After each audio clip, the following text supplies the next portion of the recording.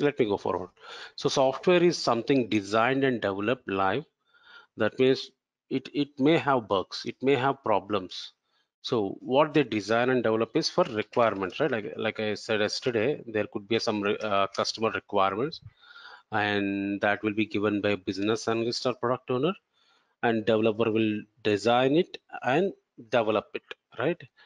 Uh, so after developing they will do a uh, developers also do a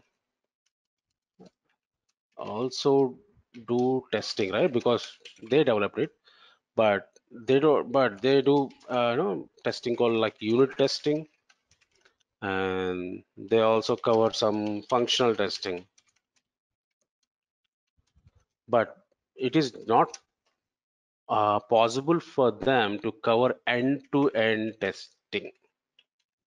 okay? Which is been you know end-to-end -end testing is taken care by again our software testers.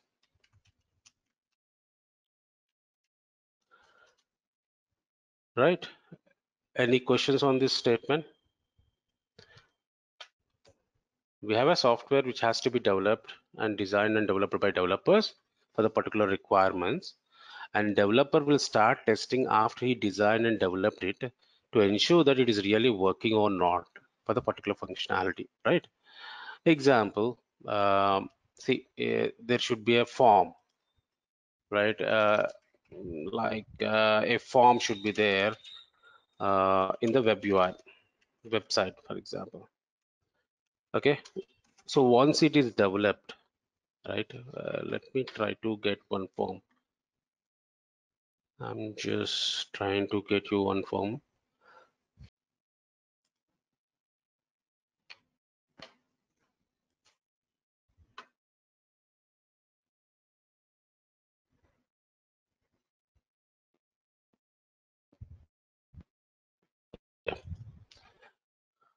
Uh, see if you ask uh, if the developer is done but what they will do is this is an email right? What they will do is okay xyz at the rate gmail.com this is well uh, will be done and they will also take photo. I don't want to take it. Let me try it otherwise or use another template. Let me use this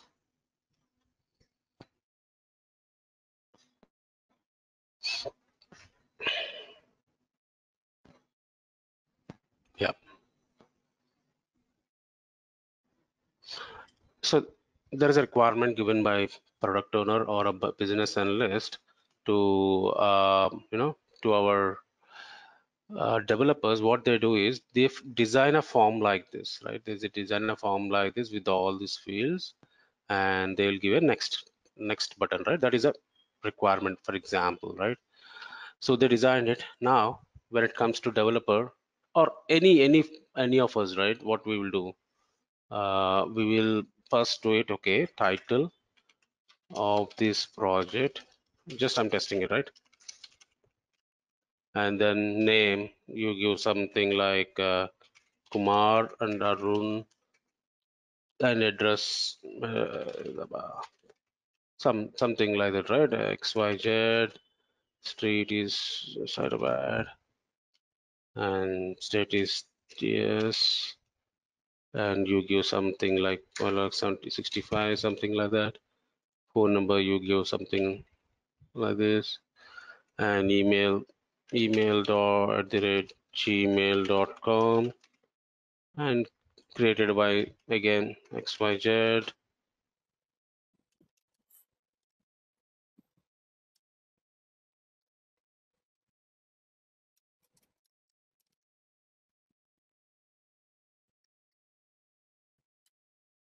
okay.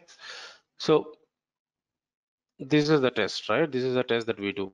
We click on next and you get uh, no some more fields which is which is expected testing right? This is how anyone will test. Even developer will also do the same kind of testing which is a positive testing. This is how the positive business use case will run right? If i ask you to do some testing on this form what any suggestions from your one of you how do you test this?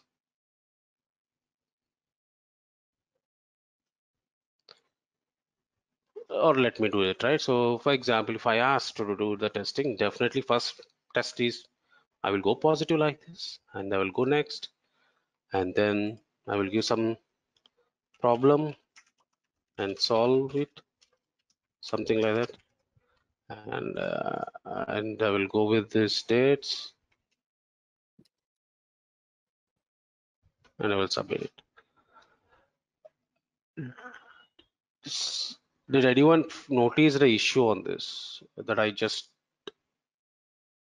yeah test cases yeah valid testing and valid testing negative positive testing that we will do. And we will go to that concept. I'm just giving you introduction here. So i did this testing but when i click on next there is expected complete date that i gave like 26 06 19 you know something like 1955 was is it a is it a valid date? Can i complete that this task at this date? Can i cannot right? Because it's a past date. There should be a validation to this date that hey it should be it should be greater than today's date isn't it hope uh, hope you are all getting me right? So that kind of validations you need to identify. Now he, there is a bug here. If i click on submit with this date uh, it is doing nothing. It is just submitting which is again okay that's a problem. Likely many things are there right? Uh, like, that is one of the test case that we need to write for field validations. And another one is uh, field length size right? Uh, example i'm just giving uh, this text forever. Ever but it is not throwing an error right? It is taking n uh, uh, whatever i want to give right? Which is which is not a ideal case. Will the title will be that much? No right? There should be limitations for that right? So it is taking like anything right? That is uh, we need to ask for limitations if it is not given by product owner. Hey what is the limit for title? Is it 50 characters 100 characters 150 characters or it is a paragraph right? We need to ask all these details. So while we get requirements itself our testing will start. While writing we need to write a test case out of that requirements. So our testing will be started when you got requirement itself from the ba he said hey there is a title or research project proposal box. And they haven't mentioned that it should be length of 50 or 100 then you need to ask your PO hey what is the length of that what, how how much it should accept the data? Right? That you need to have have a question. That kind of questions has to be raised while you are you know analyzing your requirements. Likely name how much length it is taking. It is taking huge. Will it be realistic? Case first name last name together may not reach more than 50 right? 50 characters likely address uh, or sometimes we give special characters in address. It should accept right? Uh, that kind of testing we have to do. See there is a there is a, a concept of doing uh, positive cases negative cases and monkey testing. We'll we'll learn this but these are all will not be done by developers. That's where software testing made as importance to ensure that whatever data that you give it your system should validate and also handle it. It should not crash it right? Uh, if it is for example if i gave this data if i submit it if it is crashing like anything because it is uh, you know it is uh, it is not able to handle the backend that's a problem right? That's a problem uh, for anyone. If you release that in the production if someone found that kind of problems that's a bad bad to a particular product right?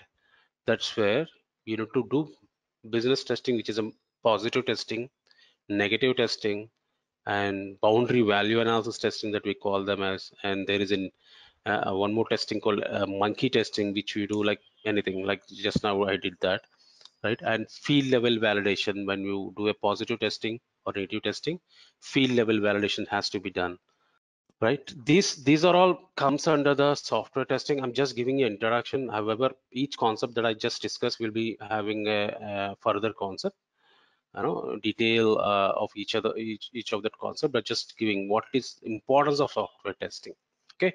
Any questions so far basically you will ensure that whatever requirements are there it, the product is working or software is working as per the particular requirement.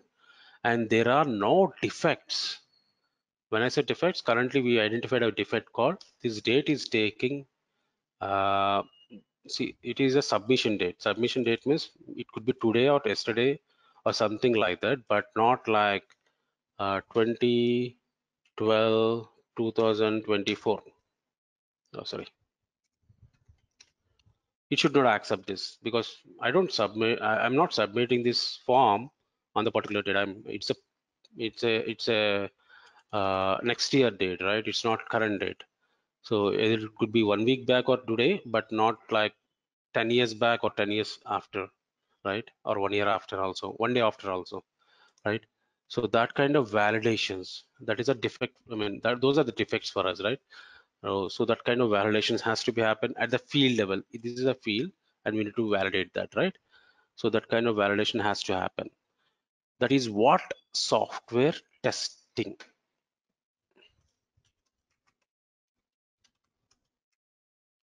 Again i'm repeating software testing it is to ensure we give quality to the software that we develop. How do you call it? As per the requirement document. Our bible is always requirement open document. We may ask we may have some suggestion out of that but it has to be documented in requirement then only everyone will be following right? As per the requirement document. And also system should be when i say system software okay should be defect free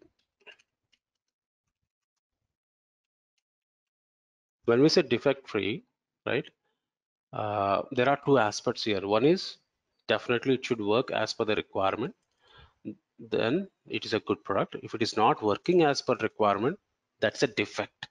When i say defect it's not working as a requirement. And there is another definition definition or uh, extension to defects are one is definitely if it is not working as per requirement is a defect. Sometimes the requirement may say that hey this is a text field and it should allow uh, alphanumeric and special characters right? You will test as per that. But if it is not providing any length right that is also comes under testing that you need to check how much length it is taking right? Because what happens is example right uh, every software will have a two three layers. We'll discuss about this in the later but just have a definition on this. One is ui layer that is whatever you're seeing the web ui and another one is server layer which is called logical layer business logic layer. And another one 3d is third one is db see for example you have a form right that like i just shown you in the ui right? If you have form that you're submitting in the ui what it will do is it will go to logical layer it will check all the fields that you gave in the form. When i say form uh, i mean this form okay? This is one of the form right? So it will check all the business rules. When i say business rules uh, so each each field will have a business rule. It may uh, need to get only characters but not special characters in this title. So these are all business rules. That means it will validate whether a particular string has a uh, special characters are like that right? So thus that will be validated at logical layer along with ui layer by the way. And finally the data will go to db right? So the data will be stored at db right. I hope everyone aware of this but it will be stored here right? For example if your a form is allowing a name field for example it is allowing like 100 characters okay?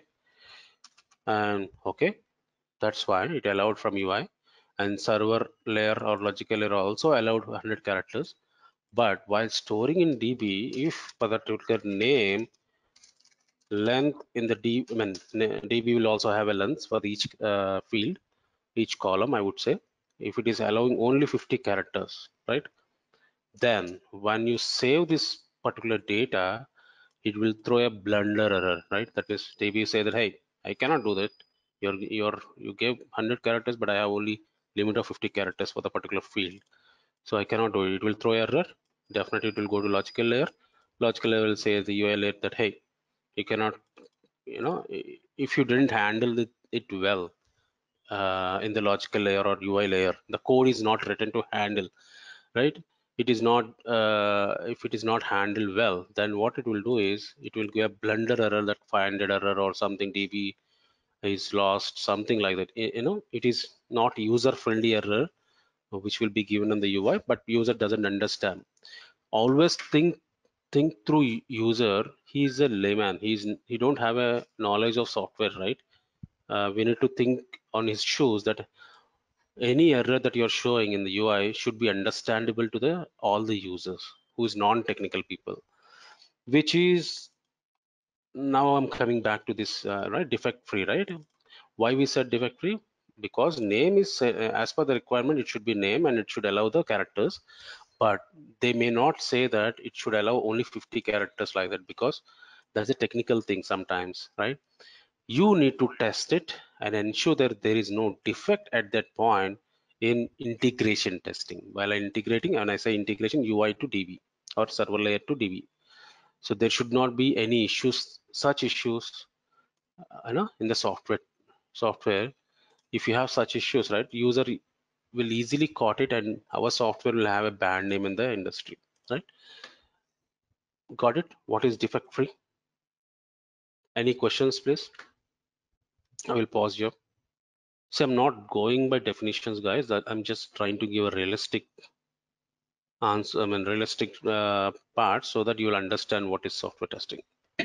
Please ask questions. If you're not understanding i will repeat this back okay let me go forward right okay I think yesterday we covered a small aspect called why we needed testing, right? Needs of testing. Anyone? I already said yesterday that uh, this is a, one of the you know problem that we had. Needs of testing. Any questions or any suggestions why we need testing? Why we need testing. Uh, just now we discussed also but why it is made so important? Yeah improve software quality which is good. To error uh, to find errors or bugs good. And defect free product to the customers very good true. Bug free product very good. Bhaskar you're right there is one more point that we all missing right? So if you have bugs right? Think through see i just showed you some form. It is it is okay. If you have a bugs in this what what will happen? Like you all said a client will come back and say that you know hey this form is worst. I am not accepting this. That is okay. At least we got some feedback but few few areas where software bugs are very expensive and dangerous right? Example like i said there could be a loss of human. We will you know there could be a blast there there could be a problems there. Like uh, in 2015 or so i think you know uh, there is a terminal uh, in london and because of the software glitch there was a financial market trade lost around you know it is like 3 trillion or so 3 million or something 300 million transactions were gone. And government you know postponed that particular uh, sale because of the problem this problem. That is a huge huge huge loss right for the, all the people who came for the trade right? And one more such example is uh, like uh, in the recent time right? You are aware of a nissan car right? Nissan car. Uh, you know nissan car had a defect in the, their uh, uh, car with airbags airbag sensors right? When that was that was a that was caused many people to die because the airbags are not coming out whenever the whenever the accident is made. So that is a huge failure right? So they recall all those cars back and they paid a huge amount. Again it's a sensor which is again runs under the software right? And nissan lost it and people lost their lives because of this bug right? So that is a need of testing. Software testing is not a job guys. Sometimes uh, it depends upon the project that you do right uh, if you are working on a financial area so if you if there are bugs leaked on that area that could be a huge loss to business as well as the people who who are relied on that particular system right? Also if you are working like cars like as just nissan car right? If it has a bug right? It got a bug. Airbags was not a uh, you know, opening when the when an accident has happened. So so lives are in dangerous so so you should be very responsible. Software testing is nothing is also mean mean by responsibility to you right? You have to be very responsible while you're testing something or while you're taking taking charge of doing software testing. Um, however everyone everyone in the team is responsible but since you are the gatekeeper with your sign off only the production will be deployed right? So you should be very cautious and very responsible when it comes to the you know financial products or something uh, human uh, life intervention are there. Like like i said cars or aeroplanes softwares like that. And you know this kind of things. Uh, you know likely china airlines airbus crashed due to software bugs in 1994 as i said earlier yesterday right so likely there are many examples to it. It's not one example. Uh, see early 2000s that was in, there is no, no testing. That's where the bugs are identified. But since today also we are identifying bugs in the production means there is a there is a small glitch there right? We should be very responsible in testing the product that we are developing in the industry. Any questions on this? So i want you all to be very responsible while you while, while you're starting this career right don't take this as a, your job. Uh, sometimes you need to be very responsible if it involves the human lives okay? While you if you are working in the product like you know, human lives are involved you have to be very responsible on that okay? Any questions please? Okay. Uh, so we covered uh, software testing and importance of software testing so far and roles and responsibilities right? So our role is uh, like i said we should be very responsible again. And uh, our major role is to you know role is software testing. And responsibility is first responsibility is defect free product. And also see to do all this defect free product uh, what you need to do you need to follow a process. Follow a testing process or testing life cycle i would say. So uh, we will talk about this test process and testing life cycle in the further classes. I'm just giving you overview right uh yeah see uh, that is uh, uh, Bhaskar you made a good point that attend to daily stand-up meetings. That will come under the process and agile process. Yeah we'll talk about that as well in the later classes. But in the nutshell you have to be very responsible in writing the test cases and and executing the test cases when you got that product and ensuring that there is no defects that is leaked out of you uh, so that it will go it will be replaced to production right? So these are the major responsibilities that you need to take care while you do testing. And there are multiple kinds of testing that you need to do which we will take later part but those all will be you know you need to apply while you testing a single requirement also like functional testing. Sometimes you need to involve with non-functional testing and you know to write automation for that particular functional testing right? These are all responsibilities. So you know today say functional testing functional testing and you know to do sometimes uh, not sometimes nowadays it's mandate automation and non-functional testing these are all different kinds of testing that we need to ensure. But don't worry you don't need to do at the day one in your career. First and foremost is important is functional testing. That is what uh, we wanted to do right? So to do this functional testing definitely you need to understand the business use cases or requirements right? Like i said yesterday. So first thing you need to do is to do a functional testing. You need to understand the business whenever someone come to you like ba said that hey this is what the project that we are doing first understand the business right? Because that is what you are going to develop. Understand the business. Come up with the questions. Come up with the questions to BA and adopt those adopt the requirements right? And I mean that means you need to be very thorough with the requirements. Okay they are for example I'm saying okay uh, one of the bank is going to develop a application. So what what will be the bank business? So they want to do account summary. They want to do uh, transactions from between two accounts uh, from the same bank. And they want to transfer it. They want to credit the amount.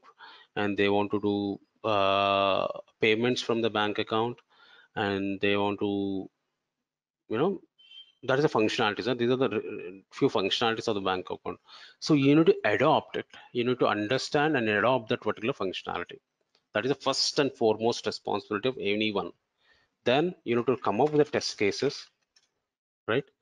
Write the test cases. When i said test cases we'll talk about this in detail. So you need to write the test cases. What is the test cases means? See uh, for example if i ask you to hey i will I, I will give a pen and ask you to test the pen. What you do? You you first of list out the items that you want to test right? Like okay i will write this pen in the in the particular you know direction and the particular environment. And uh, i will write this in the white paper or different kind of papers. Like you list out those items right? What you want to test okay? Those uh, those you need to list out in the test cases. There is a test case techniques we talk about that but test cases are very important on our day-to-day -day activities so that we'll test those cases to ensure we give a right quality to the product right? And we also need to raise a bugs if you have any defects and explain the bugs sometimes explain the bugs to the team or developers ensure bugs are fixed or prioritized and finally do a regression. Uh, actually retest and regression will be there. Retest and regression will be carried. And finally sign off. And then prod UAT test will be there prod deployment.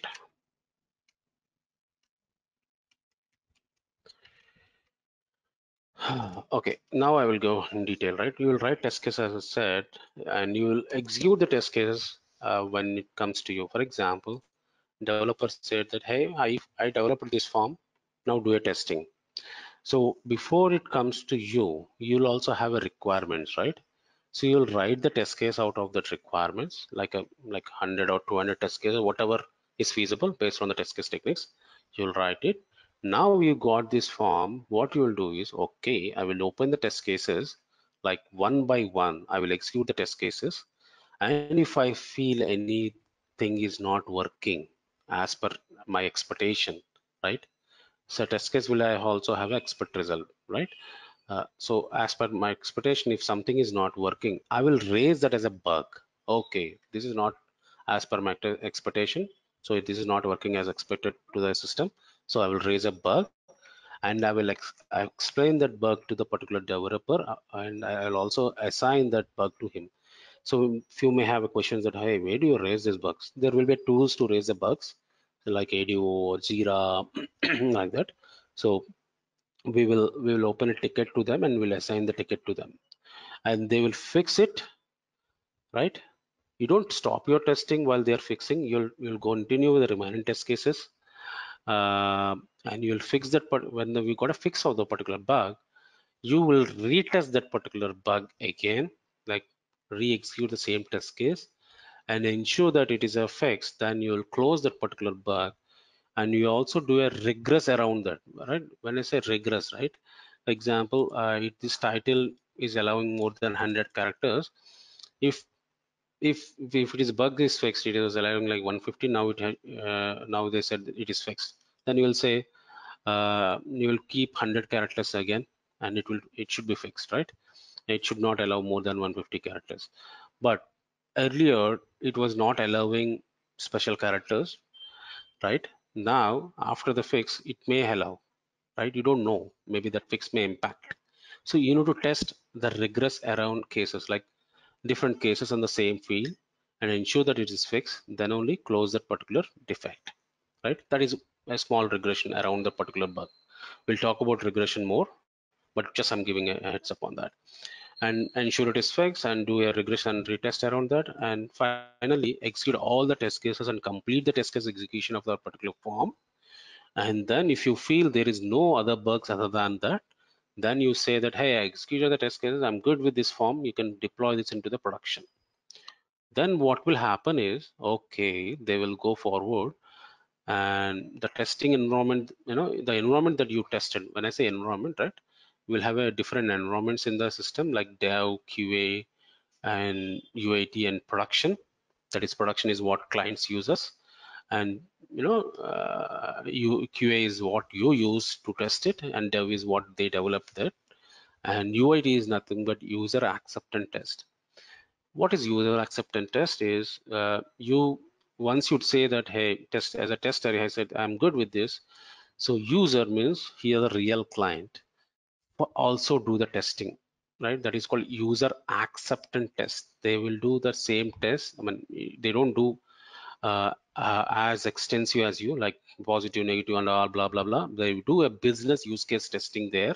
That is this form is working for them their business or not right? They will do the testing. If that is working as per their expectations right then they will give also sign up. Then it will go to the production. That is what the responsibility that we need to take before we go to the production. That means these are all our responsibility. We'll talk more uh, detail about our responsibility furthermore, like how to design the test cases, how to ensure the we raise bugs, how to raise the bugs, how to do the debuggings. Uh, sometimes you need to do root cause analysis, right? Uh, those are all need to be there. Okay. Uh, any questions? I, I, think I covered a uh, good portion of understanding uh, see, uh, the responsibilities. So any questions so far? Are we going to use any tools? Hi, Prasad here. Which tools are you looking for this? Hi. Sorry, I, I started delayed. Uh, because being in traffic, I uh, got this late. I got this message. Can you just uh, elaborate the, like briefly the what was like in a short? If you can tell me what was happened uh, in the previous one. Are we going to use any tool in this?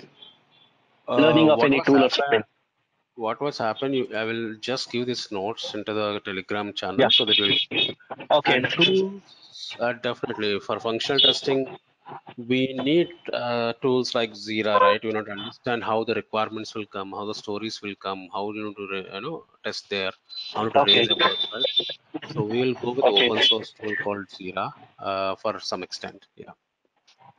Okay. And are we going to learn Selenium kind of thing also here? Okay. I'm sorry.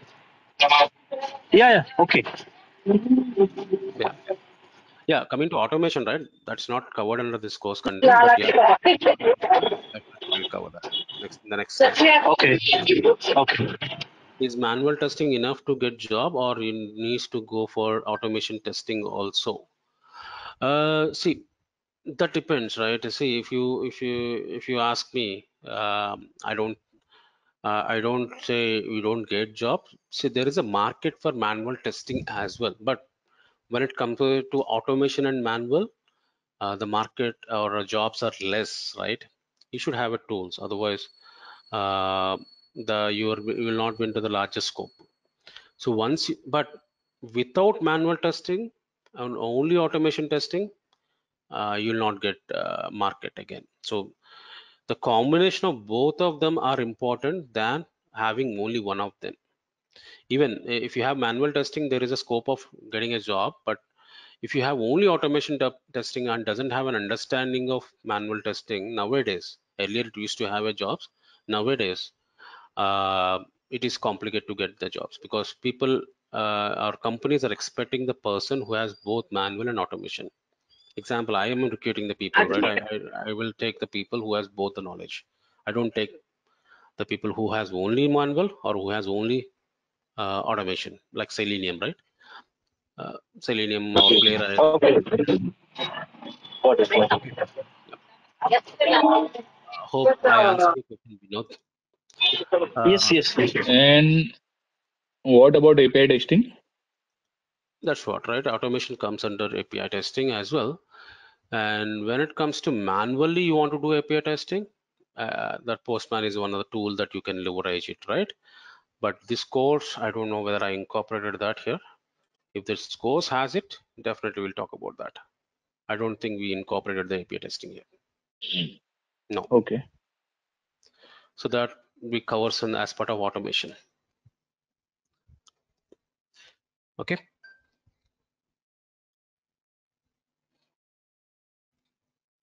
so api testing is uh, yeah that's a good question. Who asked this? I don't know. But api testing is one of the a trending one because of the uh, because of the nature of application deployments nowadays. Uh, earlier it was a monolithic deployments. Now everyone is going to microservice. I don't want to go detail because you'll get confused. Few other people will get confused. I will i will give this session while we go for the live project right?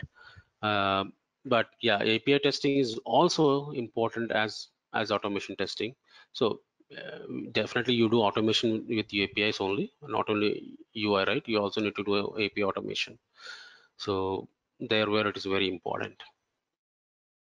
Okay. Thank you. uh, someone has a question. D uh, sir testing has a scope in the future. Yeah definitely testing has a big scope I know, oh, the, you know, you may heard about AI tools or you know some tools like that, which will leverage development part. But after doing the development, a testing has to be done. I believe more of testing will be uh, testing jobs will not be impacted with the AI more. However, automation may impact uh, for some extent, but we need more testers than uh, robot testers right or human tests so uh, i believe testing will have a more scope in the future. Testing and product owners and bas uh, along with ai development teams will have a more scope. That's what i predict. Uh, i believe that is what are happening going to happen. Okay. Any further questions? We'll take five more minutes for questions and we'll close this session today. And tomorrow we are going to cover principles and uh, how, how much testing is enough and quality difference between manual and automation which is a very important topic. So we'll cover this and we'll go forward. And if possible, I'll also cover module two. There is a requirement, I mean, this SDLC phase, right? I yeah, I will try to give a nutshell about SDLC, but SDLC itself a very important concept, and we will we want to take one day for that. Uh, yep. Any further questions, guys? Uh, when mass hiring starts? Uh, okay. 2023 human freshers, right? So, so that depends upon the company requirement, right? So, so if I'm not wrong, right, the budget will be allocated in, in from June to July. So after July, they may take one more month for you know planning and all, maybe August like that. Generally, you'll get you'll used to see uh, more requirements after July or August because generally the budgets how the budget runs in the software industry or any company right june to july is what the fiscal year for them. Okay, you may see more requirements coming in the coming days. Yeah, Java has a market, right? Uh, someone asked a question: two plus years experience Java back uh, backend is in the market. Yeah, it has a market.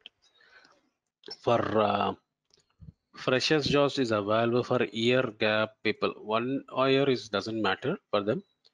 Uh, but if it has three to four years, uh, I believe you need to explore the opportunity and experience uh, line of service. Okay. But don't worry, guys. Uh, with this course, what I believe is I'm also giving my experience. Uh, I'm trying to give my experience. So uh, if you have any further questions on top of that, you can also reach out to me. But try to grab as much of as I am explaining here so that uh, I believe you can crack the job with this experience, what I'm saying. Okay, cool. Uh, for Java dev testing mandatory. Yeah, every every dev is mandatory. Dev, most of the applications are developed in Java dev or .NET dev or Python, whatnot, right? Every development need testing. It is Java is not that much robust to uh, cover up the bugs, right? It is a code that you know to write it. If the code doesn't cover the logics, yeah, definitely bugs will come. It doesn't matter what language it is. It's been developed. Is this course helpful for developers also? I don't think so. Developers can get knowledge, but uh, you know they get, they get knowledge how the testing will happen. But uh, I don't think. I mean, if you want to switch the career from development to testing, definitely it is very useful for you if you want to continue your career in developer but you want to uh, pursue this course i don't think so okay